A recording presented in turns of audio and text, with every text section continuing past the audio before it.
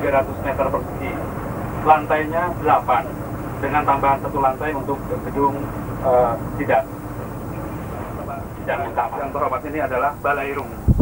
Tangan 48 dan penggunaannya lebih ke arah gedung serbaguna. Jadi digunakan untuk kegiatan wisuda, kemudian digunakan untuk kegiatan eksibisi, pameran.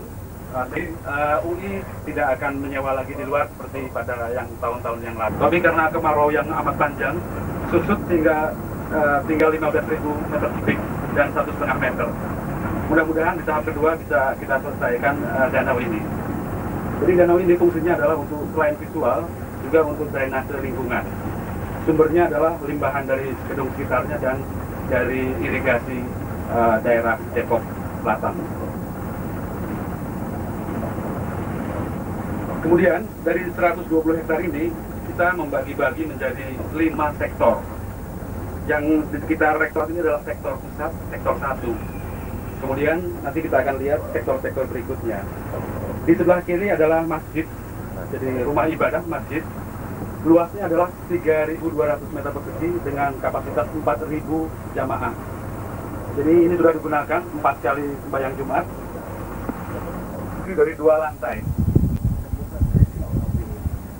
Kemudian kalau Bapak-Bapak melihat, memang upaya dari lembaga teknologi sebagai perancang mengupayakan suatu citra arsitektur tradisional Indonesia. Jadi inilah yang diupayakan di kampus baru kita ini. Sektor uh, kedua di fakultas-fakultas sosial. Jadi gedung fakultas hukum ini berlantai 2 dan 4 Luasnya adalah 7.600 meter persegi dengan jumlah mahasiswa 1.400 mahasiswa.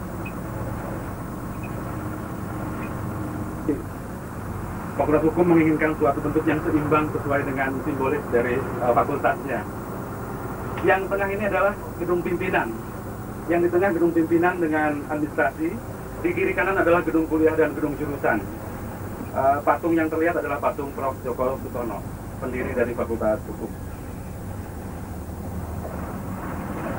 Kemudian di belakang dari gedung pimpinan adalah gedung perpustakaan dan gedung serbaguna. Fakultas yang kedua di fakultas-fakultas sosial adalah fakultas psikologi. Jadi di sebelah kiri kita adalah fakultas psikologi, juga terdiri dari dua dan empat lantai. Luas fakultas psikologi adalah 1.500 meter persegi dengan jumlah mahasiswa 604 jurusan. Kemudian komposisinya juga sama dengan Fakultas Hukum, terdiri dari gedung pimpinan, gedung-gedung jurusan, gedung perpustakaan, dan gedung kegiatan mahasiswa. Yang di tengah ini yang dua lantai adalah kubikel, di kiri kanannya adalah gedung-gedung kuliah dan gedung-gedung jurusan. Jadi seluruh area di fakultas di kampus baru ini sudah uh, ya, fungsinya sudah berjalan sejak tanggal 7 September. Setelah fakultas psikologi, kemudian uh, kita sampai ke fakultas yang ketiga adalah fakultas ISIP, ilmu sosial dan ilmu politik. Luas dari fakultas ISIP ini adalah 7.600 meter persegi, terdiri dari 3 dan 4 lantai. Jumlah mahasiswanya adalah 1.700 orang dengan 8 jurusan. Yang tipikal di sebelah kiri dan kanan adalah gedung kuliah jurusan, sedangkan di tengah, seperti yang tadi, adalah gedung pimpinan dan administrasi. Kemudian untuk parkir, di sekitar bangunan ini adalah parkir staf pengajar dan karyawan, seberang di, sebelah kanan Bapak-Bapak. Jadi memang dipisahkan uh, lokasi parkirnya ini.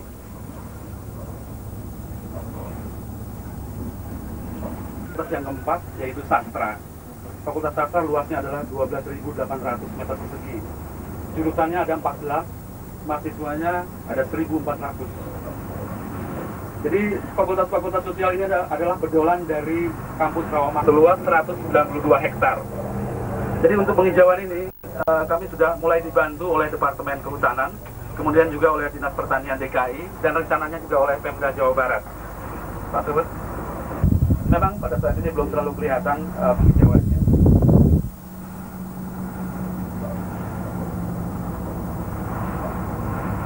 Uh, jalan ekonomi. Jadi luas fakultas ekonomi rencana keseluruhannya adalah 21.600 meter persegi. Yang baru dibangun adalah 1.000 meter persegi berupa gedung serbaguna.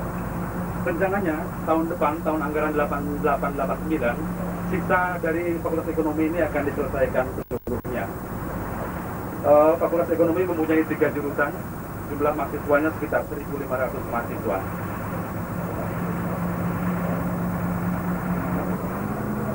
Fakultas Teknik adalah salah satu fakultas yang indah dari Salengka.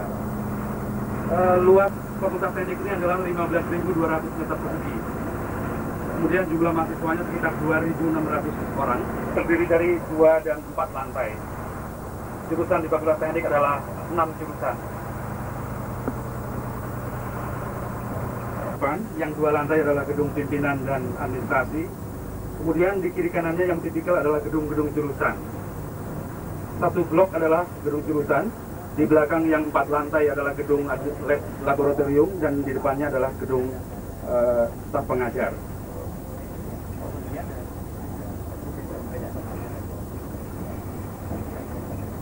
Jadi bapak-bapak melihat bahwa tiap-tiap fakultas menginginkan suatu bentuk yang tersendiri, tersendiri yang memang digambarkan oleh tiap-tiap arsiteknya. Uh, gedung fakultas teknik ini juga dibangun oleh uh, lembaga teknologi. Belakangan bapaknya adalah batas sebelah barat kampus, yaitu kampus. Sudah mulai dilaksanakan pembangunannya.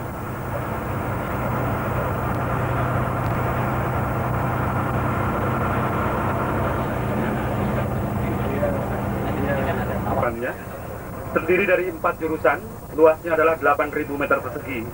Sekarang juga masih dalam tahap per perkembangan yang kedua. Jadi di sebelah kanan ini adalah gedung Politeknik.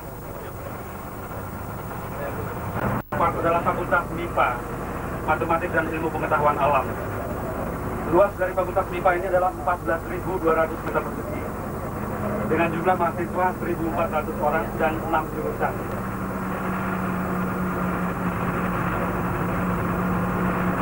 Di sebelah kiri ini adalah gedung-gedung dari jurusan.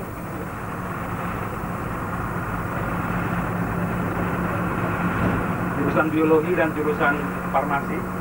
Sebelah gedung kuliah bersama. Jadi seluruh perkuliahan dipusatkan di gedung yang di tengah ini, yang ada tangga-tangga. Kemudian yang paling depan adalah gedung kegiatan mahasiswa dan kantin.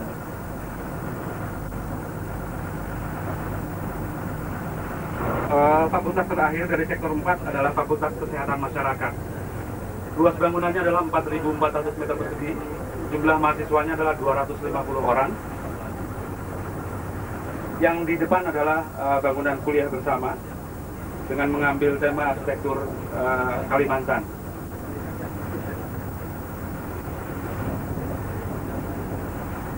Di belakang kuliah bersama adalah gedung pimpinan dan administrasi. Kemudian bapak-bapak melihat bahwa tiap fakultas mempunyai satu gardu.